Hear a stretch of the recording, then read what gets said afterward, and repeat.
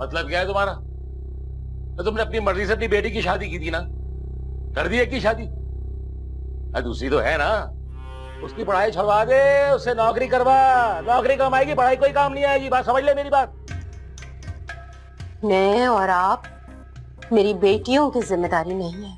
अबे यही सोच के तो तुझसे शादी की थी कि ज़िंदगी में ऐश और आराम की ज़िंदगी गुजारूँगा। मज़े मज़े के खाने खाऊँगा।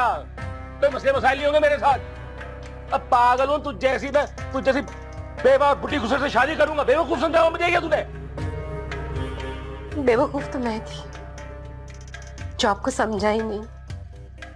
मेरी बेटियाँ मुझे समझाती रह गई लेकिन मैंने उनकी एक ना मानी और अपने आप को खुद ही कुएँ में धकेल दिया।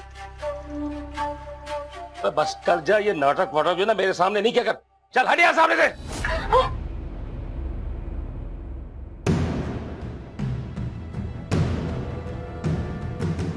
औरत पर हाथ उठाना मर्द को सेब नहीं देता।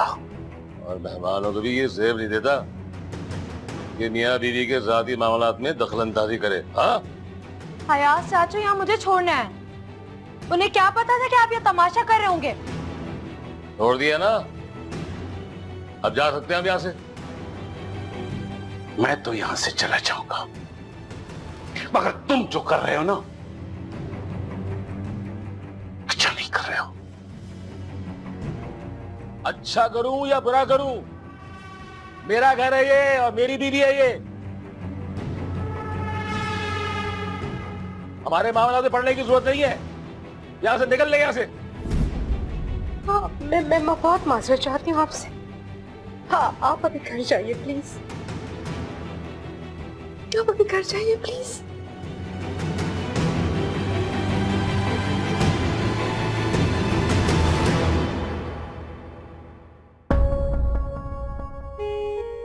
सुकून मिल गया आपको। और भी किसी के सामने अगर बदनाम करना रह गया तो वो भी कर ले हमें। हम ये रुसवाई आँसू। आपने अपने लिए खुद चुने।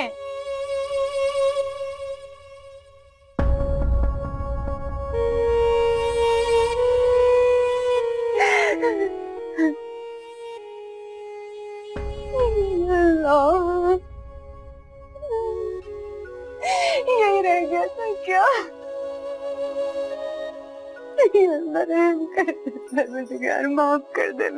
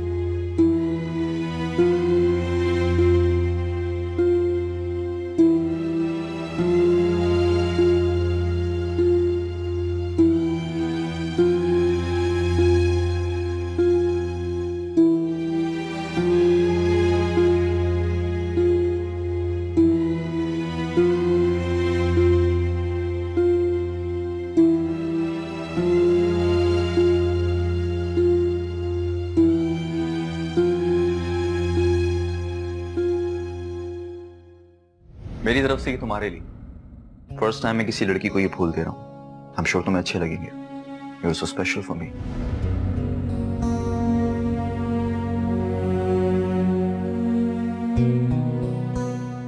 मेरे ऐसे नसीब का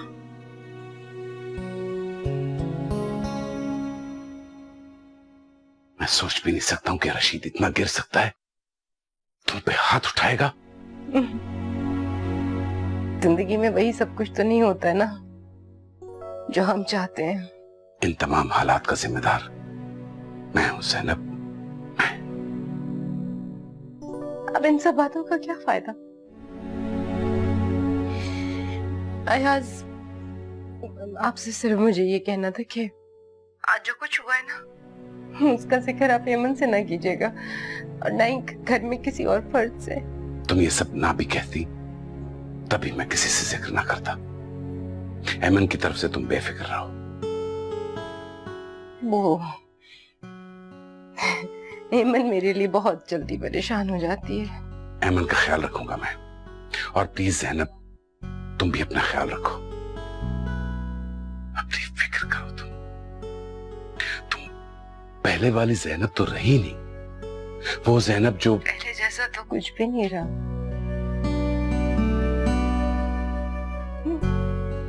जैनब जैनब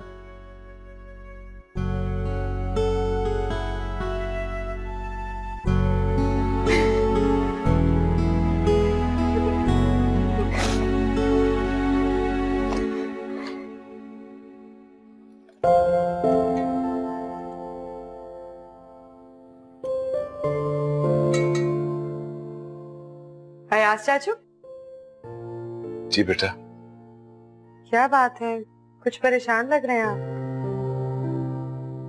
बस बेटा ऐसे ही। ऐसे ही तो कोई परेशान नहीं होता। कोई ना कोई वजह तो होती है हाँ। आप बताना नहीं चाह रहे वो एक अलग बात है।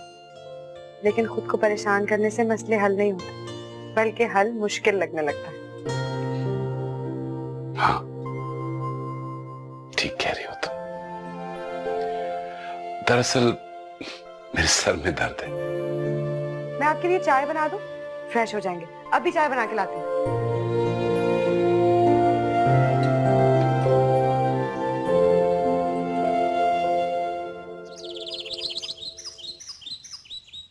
चले उठे तैयार हुए। ऑफ़िस के लिए लेट हो जाएँगे। हाँ जाना तो है। लेकिन सोच रहा हूँ आज ऑफ़िस नहीं जाऊँ। ऑफ़ कर लूँ।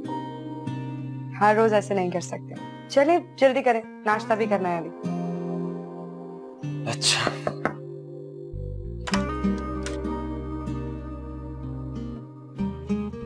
अस्सलाम वालेकुम। अस्सलाम अयान डॉक्टर इशरत को कॉल करके मेरी आज की अपॉइंटमेंट कैंसिल करवा दें। क्यों मामा? मेरी फ्रेंड्स आ रही हैं ना खाने पर मुझे सारा कुछ अरेंज करना है। बस इसीलिए मैं चाह रही हूँ कि आज की अपॉइंटमेंट कैंसिल हो जाए। मामा आप मुझे बता दें क्या तैयारी करनी है? आप आराम से डॉक्टर के पास चली जाएँ। जी मामा आप ईमन को बता दें। आर यू श्योर आप सारी तैयारी कर लेंगी। अम, पूरी कोशिश करूँगी। आप फ़िक्र ना करें। देख लें अ, सारा कुछ ठीक से हो जाए। अरे मामा आप एक बार ईमन पे भरोसा तो करके देखें। आई एम श्योर ये आपको मायूस नहीं करेगी। चलें आप कहते हैं तो देख लेते हैं हाँ।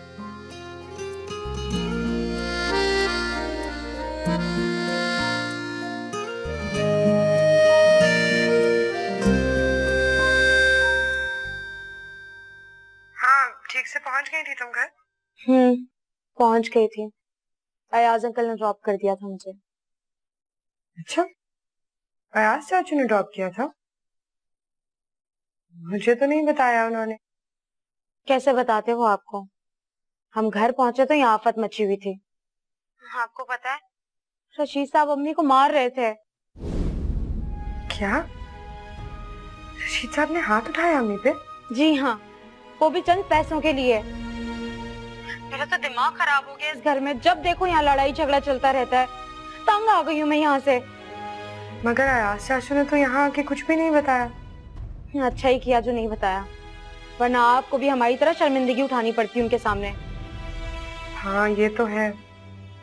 यहाँ आज मेहमान आ रहे हैं वरना मैं ज़रूर घर आती। मुझे अम्मी की बहुत फ़िक्र हो रही है। अच्छा ठीक है आप ही लेकिन आप प्लीज़ अम्मी को मत बताइएगा कि ये बात मैंने आपको बताई है। प्लीज़। हाँ खुदा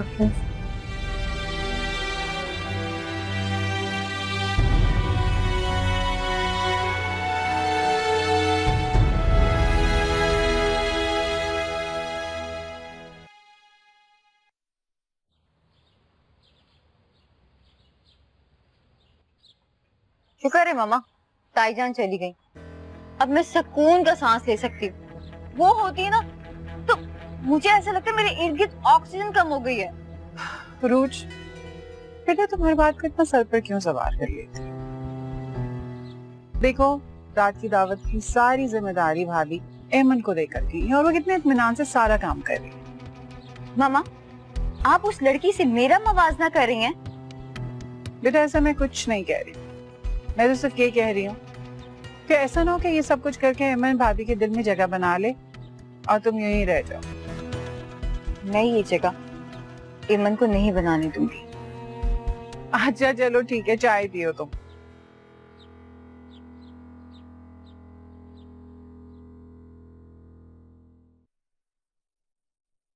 हयात चाचू जी बेटा।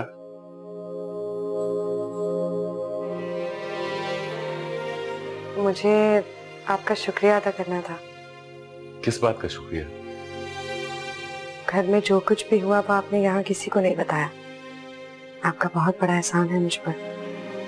बाप बेटियों पर एहसान नहीं किया करते। तुम मेरे लिए उरूज की तरह हो। आइंदा एहसान वाली बात ना करना हम?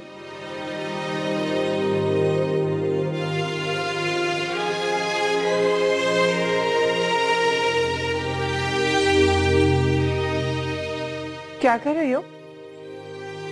वो रात को मेहमान आ रहे हैं ना उनके खाने की तैयारी करें अरे तुम्हें पता नहीं? वो लोग नहीं आ डिनर कैंसिल हो गया। अच्छा? हम्म।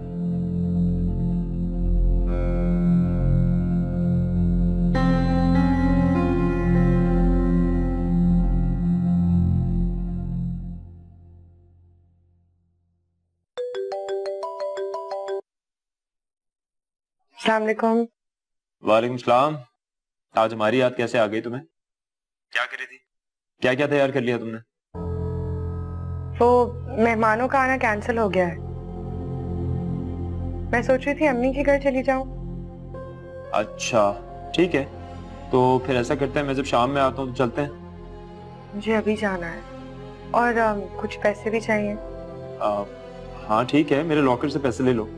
आ, हेमंत सब सब ठीक तो है ना?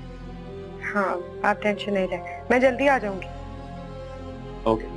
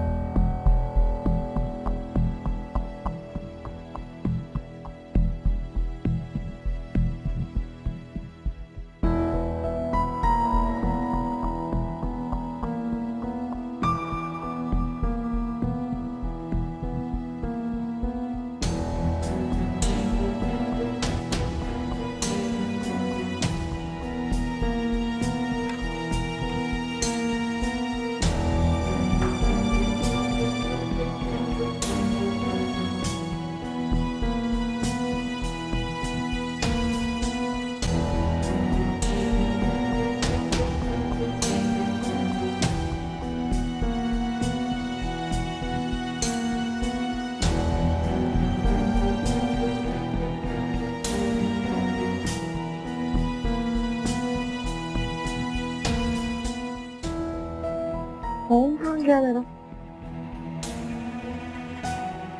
कहाँ रख दिया मैंने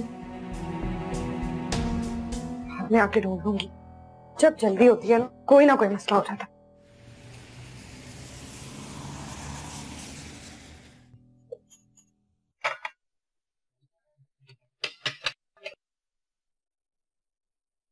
सब तैयारियाँ हो गई? जी ताईजान गुड आप एमन को भी बुला लें। मेहमान आप दोनों से मिलना चाहते हैं। ताईजान वो तो घर पे है ही नहीं। घर में नहीं है? क्या मतलब? ताईचंद ताईजान आपके जाने के बाद एमन अपनी अम्मी के घर चली गई थी। और अभी तक नहीं आई।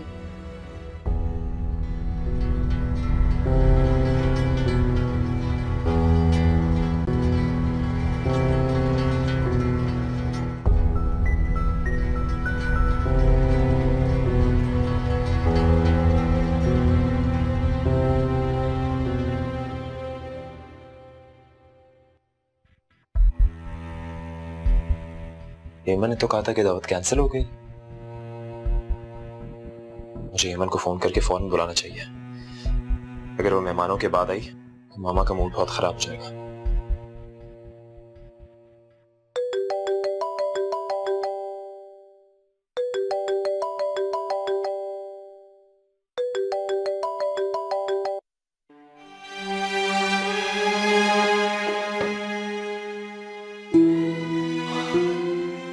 अजीब लड़की है। फ़ोन तो लेके जाओ अपना हेमन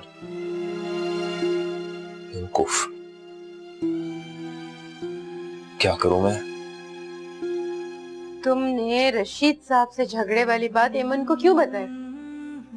तो अम्मी इसमें छुपाने वाली क्या बात थी? और एमन आप इसे क्यों छुपा हुआ जा बस चुप कर जाओ तुम। और एमन को देखो, मुझे पैसे दे रही थी। क्या हो गया तुम लोगों को? तो क्या हुआ? रख लेती ना। देगा ये ज़बरदस्ती। वैसे ये बिल्कुल अच्छी बात नहीं है। मजबूरी कर दिया तुम लोगों ने तो मुझे। अम्मी वो ख्याल नहीं करेंगी तो कौन ख्याल करेगा? और वैसे भी अयान भाई के पास पैसों की कमी तो नहीं है ना? क्या हो गया है माही तुम्हें? क्यों तुम इस तरह से सोचती हो? हेमन को देखो इतना मैंने कहा कि रुक जाओ आज लेकिन वो रुकी नहीं। कहनगी मैं फिर आ जाऊँगी बाद में। हाँ, तो क्या हो गया अम्मी? आ जाएँगी ना बाद में?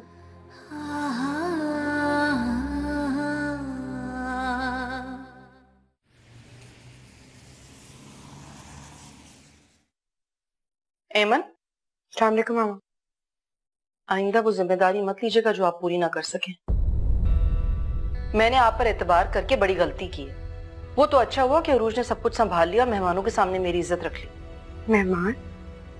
मेहमान आए थे? मेरा मतलब अब सफ़ाई देने की कोई ज़रूरत नहीं है। ये तो आपको अपनी अम्मी के घर जाने से पहले सोचना चाहिए था। मैं आपको ज़िम्मेदारी सौंप कर गई थी। मुझे नहीं पता था कि आप इतनी लापरवाह और गैर जिम्मेदार हैं। मुझे नहीं पता था मामा। आ, आप गलत समझ रही हैं। जी मैं एक बार गलती कर चुकी हूँ आपको सही समझने की। आइंदा नहीं करूँगी। इंसान को एक ही बार आजमाया जाता है ईमान और एक बार अगर कोई आपका भरोसा तोड़ देना तो आइंदा वो भरोसे के काबिल नहीं रहता।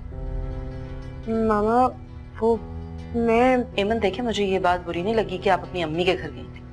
लेकिन आप मुझे पहले बता देती। ये कोई तरीका नहीं था मेरी इंसल्ट करवाने का सबके सामने। बहुत अफसोस हुआ है मुझे। आपको कैसे समझाऊं? आप बिल्कुल मेरी अम्मी की तरह हैं। मैं ऐसा सोच भी नहीं सकती। कहने में और समझने में बहुत फ़र्क होता है।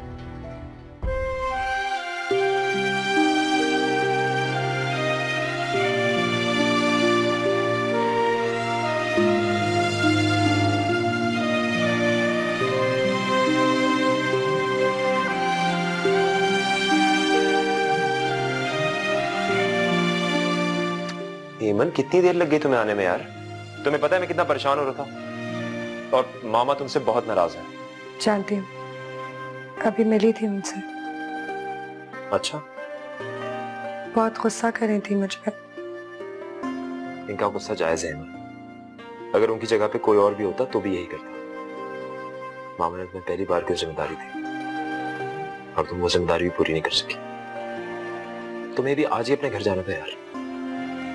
मुझे नहीं पता था गेस्ट आएँगे।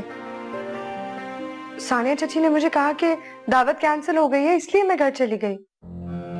नहीं आई एम श्योर तुम्हें सुनने में कोई ना कोई गलतफहमी हुई होगी। ऐसा कैसे हो सकता है अयान मुझे किसी और ने कहा होता तो मैं ये बात कभी भी नहीं मानती। मुझे सानिया चाची ने कहा दावत कैंसिल हो गई है। नहीं चलो ठीक है अगर मैं तुम्हारी बात मान लूँ लेकिन कोई और नहीं मानेगा ये बात तुम्हारी। तुम्हें तुम्हें मामा से एक बार कंफर्म कर लेनी चाहिए थी ये बात। और तुम अपना फ़ोन भी नहीं लेकर गई।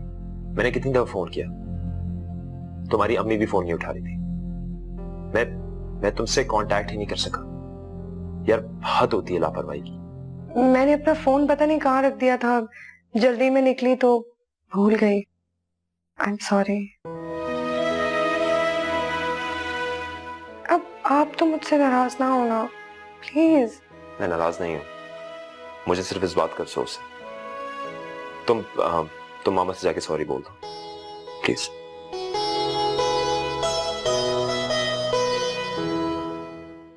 मैंने ये शादी सिर्फ़ और सिर्फ़ समझौते के तहत की थी।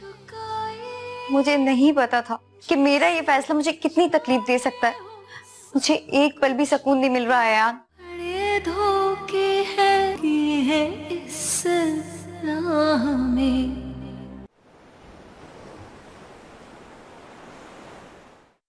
कब से मैं कह रही हूँ ये बेडशीट चेंज करवाएँ? यास्मीन से कहें कि ये बेडशीट फ़ौरन चेंज करे आज। ही मामा? और ये सारा एक्स्ट्रा सामान उठाएँ और स्टोर में जाके रखवाएँ। कब से मैंने आप लोगों से कहा, आप लोग सुनते ही नहीं है बात। जाए बुला के यास्मीन को लाएँ पहले।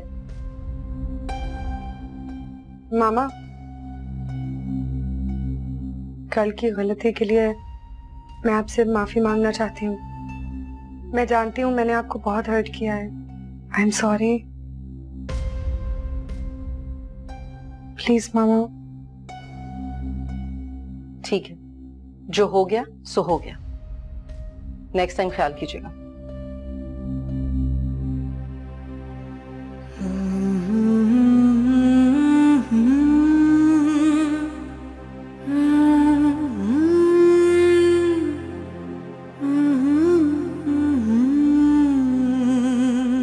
मामा मामा मुझे तो यकीन ही नहीं आ रहा कि ताई जान मेरी इतनी तारीफ़ भी कर सकती हैं। इसी तरह मेरी हर बात पर अमल करती रहो फिर देखो तुम्हारे साथ बहुत अच्छा होने वाला है। यू आर ग्रेट मॉम मुझे अपनी तारीफ़ से ज़्यादा ना एमन की बेइज्जती की खुशी हो रही है। इसे बहुत शौक था ना सबकी नज़रों में अच्छा बनने का। हाँ पता है भाभी तो बहुत नाराज़ थी उससे। मैंने तो सुना है रात को बहुत गुस्सा किया उस पर। मैं तो कह रही हूँ बहुत अच्छा हुआ। फिर उसकी भी अकल ठिकाने में आ जाएगी। आखिर आपका ही तो आइडिया था ये। उरूज बस बेटा। अब तुम शाहजेब का ख्याल रखा करो मैं देख रही हूँ तुम उस पर बिल्कुल तवज्जो नहीं देती हो। ये आपको शाहजेब ने कहा है? उसने आपको मेरी शिकायत लगाई है? वो बेचारा तो कभी भी कुछ नहीं कहता मुझसे। मगर फिर भी बेटा। प्लीज़ मॉम मैं इस टॉपिक पे कोई बात नहीं करना चाहती। आपने तो मेरा सारा मूड ही खराब कर दिया। एमन की इंसल्ट का सुनकर मुझे इतनी खुशी हो रही थी। और आप हैं कि अब एमन तुम आपने मुझसे झूठ क्यों कहा? झूठ? मैंने? किस झूठ की बात कर रही हो? मुझे यकीन नहीं आ रहा कि आप मेरी बात नहीं समझे ठीक है मैं रिपीट कर देती आपने मुझसे कहा दावत कैंसिल हो गई। अब तो याद आ गया होगा। कल ही की तो बात है कोई इतनी पुरानी भी नहीं। आ, वो मॉम ने तो बस ऐसे ही मैं तुमसे बात नहीं कर रही। मैं सानिया आंटी से बात कर हूँ। हाँ मुझे गलत फहमी हो गई थी। बाद में मैं तुम्हें बताने आई थी, मगर तुम उस वक्त तक जा चुकी थी अपनी अम्मी के घर।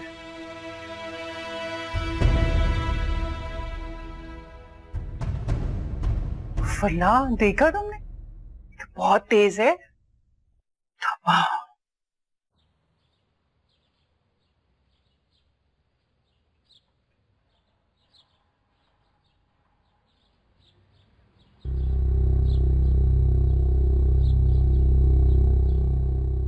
वाह भाई वाह वाह वाह वाह वाह वाह वाह। क्या क्या सामान ले आई? कुछ नहीं बस वो राशन खत्म हो गया था। वही लेकर आई हूँ। बहुत अच्छे। जब मैं पैसे माँगता हूँ तो मुझे पैसे देने के लिए तुम्हारे पास पैसे नहीं होते। तो ये सामान लाने के लिए तुम्हारे पास पैसे आए कहाँ से? पहली बात तो ये बताओ तुम। हेमन पैसे देकर गई। अब मुझे बेटी से पैसे लेना अच्छा नहीं लगता। पहले भी ये घर हेमन के पैसों से चलता था। तब किस चीज़ की शर्म? पहले की बात और थी। पहले हेमन जॉब करती थी। लेकिन अब तो उसने आयान से ही पैसे लेकर दिए होंगे ना। और ये तो बिल्कुल अच्छी बात नहीं। वो क्या सोचता होगा हमारे बारे में? अरे बस कर दो बस कर दो ये रोना धोना। बंद करो अपना ये रोना धोना। और बहुत हो गई ना। आयान से पैसे मांग लो। अच्छा खासा दौलतमंद आदमी है। थोड़े बहुत पैसे तुम्हारे ऊपर या मेरे ऊपर खर्च कर देगा। तो कौन सा फ़र्क पड़ जाएगा? मगर मुझे फ़र्क पड़ता है। दामाद के पैसों से ये घर का खर्च चलाना मुझे अच्छा नहीं लगता। बड़ी बेगैरती की बात लगती है ये मुझे। अब बस कर! किसको कहा बेगैरत? अब आगे एक लफ्ज भी निकाला ना तो अशर अशर तेरा खराब करके रख दूँगा मैं पूरा। कुछ तो लिहाज कर ले आप दोनों। घर से बाहर आवाज़ आ रही है आप दोनों की। हर वक्त घर में शोर शराबा करते रहते हैं।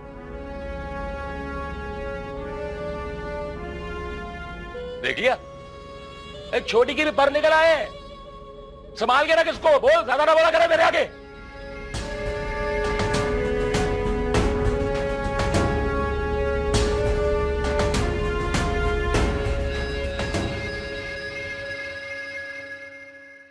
सलाम भाभी। वालेकुम सलाम। भाभी अरूज कहाँ है? पता नहीं अपने कमरे में होंगी। लगता है आज आप लोग बहुत थक गए हैं। हाँ ऑफ़िस में बहुत काम था आज। अच्छा आप फ्रेश हो जाएँ मैं खाना लगा देती हूँ। शाहजेब आप भी फ्रेश हो जाएँ मैं खाना लगा रही हूँ साथ ही खा लीजिएगा।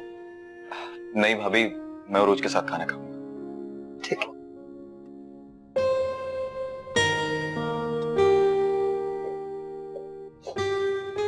उरूज तुम यहाँ बैठी हो। मेरे कपड़े कहाँ रखे हैं? मुझे क्या पता? तुम्हारी अलमारी में ही रखे होंगे। वैसे भी यास्मीन तुम्हारे कपड़े रखती है ना? जाके उससे पूछ लो। यास्मीन इस घर की मुलाजमा है मेरी बीवी नहीं। और वैसे भी मेरी चीज़ों का ख्याल रखना तुम्हारी ज़िम्मेदारी है। एमन भाभी को देख लो अयान भाई का कितना ख्याल करती है। उनकी कितनी फ़िक्र करती है वो? तुम मेरा कंपटीशन उस मिडिल क्लास लड़की से नहीं करो। उसे तो ये सब कुछ करने की आदत है ना? उसके घर में कौन सा मुलाजिम थे? हैरत है उरूज तुम मेरी बात समझने के बजाय मुझ पे बरस रही हो?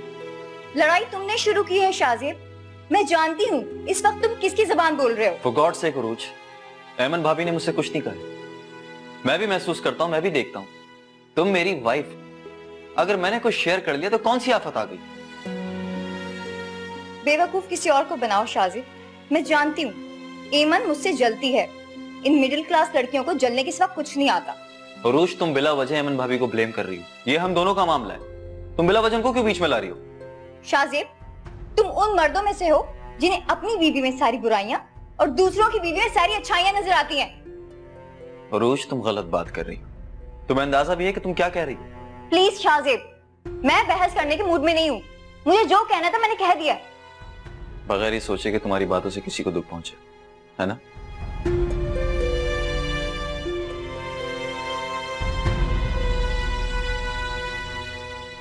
एमन तुम चाहती क्या हो? मुझे सुकून से क्यों नहीं रहने देती? क्या हो गया है रोज ये तुम मुझसे पूछ रही हो कि क्या हुआ है? देखो अगर कोई प्रॉब्लम है तो हम आपस में बैठ के सॉल्व कर लेते हैं। इस तरह चीख क्यों रही हो? क्यों? इस घर में सबको पता चलना चाहिए कि तुम्हारी औकात क्या है। तुम्हें अभी भी चैन नहीं मिला। तुमने अयान को तो मुझसे छीन लिया। तुम अभी भी मेरी ज़िंदगी बर्बाद करने के पीछे क्यों तुली हुई हो? क्यों? बताओ क्यों? देखो रूज जो बात है सिर्फ़ वो करो। ज़रूरी नहीं है कि मैं तुम्हारी हर बात का जवाब दूँ। व्हाट तुम कर भी क्या सकती हो? तुम्हें सिर्फ़ बर्दाश्त ही करना होगा। तुमने सबसे बड़ी गलती इस घर में आके की है। और इससे भी बड़ी गलती तुम शाहजेब को मेरे खिलाफ भड़का के कर रही हो। मैं ऐसा क्यों करूँगी? मैंने शाहजेब से तुम्हारे खिलाफ कोई बात नहीं की है। तुम्हें कोई गलत फहमी हुई है। वाओ तुम्हें तो बेस्ट एक्ट्रेस का अवार्ड मिलना चाहिए। शर्म आनी चाहिए तुम्हें। मेरी ज़िंदगी अजाब करके रखी है। जिस मोहल्ले से तुम आई हो ना शायद वहाँ ये सब कुछ होता होगा। यहाँ ऐसा कुछ नहीं चलेगा। उरूज ये किस तरह बात कर रही हो तुम अहमद के साथ? बाबा आपको नहीं पता एमन ने मेरे साथ क्या किया है। इसने शाहजेब से चाचू बिलीव मी मैंने ऐसा कुछ नहीं किया है। आप चाहे तो शाहजेब को बुला के पूछ लें। झूठ बोल रही है ये। उरूज देखो ये छोटी छोटी गलत फहमियों पे लड़ना अच्छी बात नहीं है। चलो शाबाश। खत्म झगड़ा खत्म।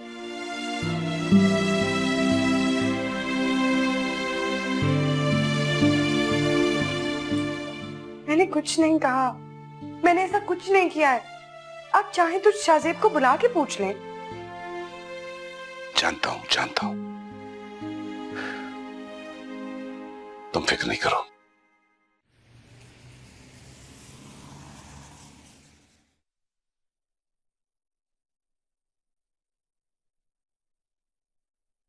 अम्मी वो मुझे कुछ पैसे चाहिए। कितने पैसे? पचास हज़ार रुपए। पचास हज़ार रुपए? तुम्हारा दिमाग तो ठीक है? क्या करोगी तुम इतने पैसों का? मुझे लैपटॉप लेना है। तुम जानती भी हो बेटा कि घर में पैसों की कितनी तंगी हो रही है। और ये सब देखने के बावजूद तुम्हारी ख्वाहिश है कि कम होने का नाम ही नहीं ले रही। मैं जब भी आपसे किसी चीज़ के लिए पैसे मांगती हूँ अपना रोना लेके बैठ जाती हैं।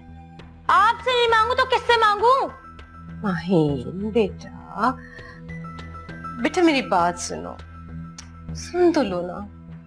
मैंने और एमन ने अपनी इस्तात से बढ़कर हमेशा तुम्हारी हर ख्वाहिश पूरी करने की कोशिश की है बेटा। लेकिन अब तुम्हें भी तो समझना चाहिए ना हमारी पोजीशन को। मैं कहाँ से लेकर आऊँगी इतने पैसे? वो है ना, जिनको आप बड़े शौक से इस घर में लेकर आई थी। उनको कहे ना इस घर के खर्चे उठाए। सारा दिन घर में बैठ के सिर्फ़ टीवी देखते हैं या खाना खाते हैं। और तो उनको कुछ करने आता नहीं है। माहीन माहीन आहिस्ता बात करो बेटा। उस शख्स ने अगर सुन लिया ना तो एक और हंगामा खड़ा हो जाएगा इस घर में। मैं क्यों आहिस्ता बोलूँ? आप उनसे इतना डरते क्यों हैं आखिर? मैं रशीद साहब से नहीं डरती। अपनी इज़्ज़त से डरती बेटा। मोहल्ले वाले सुनेंगे तो क्या कहेंगे कि इनके घर में हर वक्त लड़ाई झगड़ा होता रहता है? ये आपको दूसरी शादी करने से पहले सोचना चाहिए था। वो भी इस निखट्टू इंसान से। इससे शादी की आपने?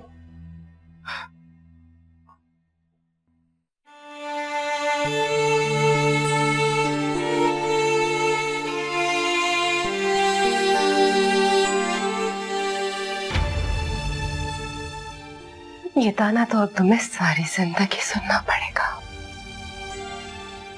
गलती जो ऐसी की है। अल्लाह। कोई माफ़ी भी होगी। बस करो बेटा। कब तक ऐसे रोती रहोगी? देखो तुम्हारी तबीयत खराब हो जाएगी। बाबा ने मुझे पहली बार गुस्से से डांटा है और वो भी एमन की वजह से। आपको पता है मेरी कितनी इंसल्ट हुई है। मुझे खुद समझ में नहीं आ रहा कुछ अरूज पहले तो वो अमन का नाम तक नहीं सुनना चाहते थे। बिल्कुल उसके खिलाफ थे। और अब इतनी हमदर्दी। ऐसा लगता है एमन ने बाबा पे जादू कर दिया। पहले आयान को मुझसे छीना और अब बाबा को भी। मत परेशान हो मेरा बच्चा। मैं हूँ ना तुम्हारे साथ। मैं तुम्हारे साथ कोई ज्यादती होने नहीं दूँगी। बात करती हूँ मैं तुम्हारी ताई जान से और तुम्हारे बाप से। रहने दे मामा। ताई जान से बात करने का को कोई फ़ायदा नहीं है। एमन बड़ी चालाकी से सारी बात मुझ पे ही रख देगी और मैं ही सबकी नज़रों में बुरी बनूँगी। कह तो तुम सही रही हो लेकिन इस लड़की को मैं छोड़ूँगी नहीं। देखना। रोज बेटा रहने दे बाबा मुझे आपसे कोई बात नहीं करनी। आपने एमन की वजह से मेरी इंसल्ट की। मुझे तो लगता है मैं आपकी बेटी नहीं हूँ एमन ने आपकी बेटी है। रोज? सही तो कह रही है वो। आपने एमन के लिए और रूज को डांटा मेरी बेटी को? यार मुझे आपसे ये उम्मीद नहीं थी। मैं उरूज को समझा रहा था सानिया। छोटी छोटी बातें इग्नोर कर देनी चाहिए। खाम खा हंगामा नहीं करना चाहिए। ये तो अच्छा हुआ कि मैं वहाँ पहुँच गया। सोचो अगर मेरी जगह अंजुम भाभी वहाँ जाती तो उरूज को बहुत ज़्यादा डांटती। हाँ तो कौन सा गलत कहा उरूज ने? और वैसे भी एमन को उरूज और शाहजेब के बीच में नहीं आना चाहिए। अब ये बात मैं तुम्हें कैसे समझाऊं सानिया? एमन ने शाहजेब से कुछ नहीं कहा। ये बात तुम शाहजेब से पूछ सकती हो। देखो सानिया मैं सिर्फ़ ये चाहता हूँ कि मेरी बेटी उरूज का घर बसा रहे। और ये बात तुम भी चाहती होगी। देखो, मैं चाहता हूँ कि मेरी बेटी खुश रहे। मैं सिर्फ़ ये चाहता हूँ कि तुम अरूज को समझाओ।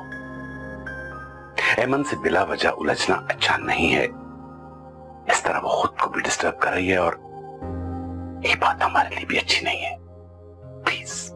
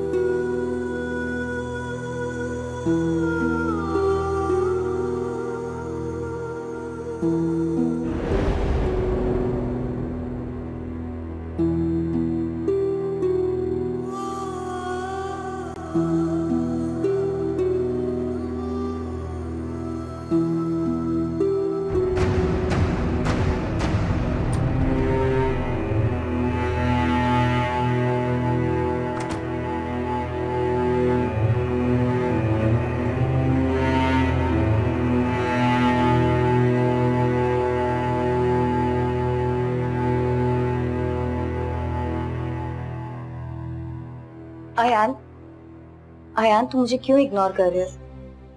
हाँ नहीं। ऐसी कोई बात नहीं। ऐसा ही है। तुम क्यों नहीं समझते? मैं तुम्हें नहीं भुला सकती मैं तुमसे अब भी मोहब्बत करती हूँ।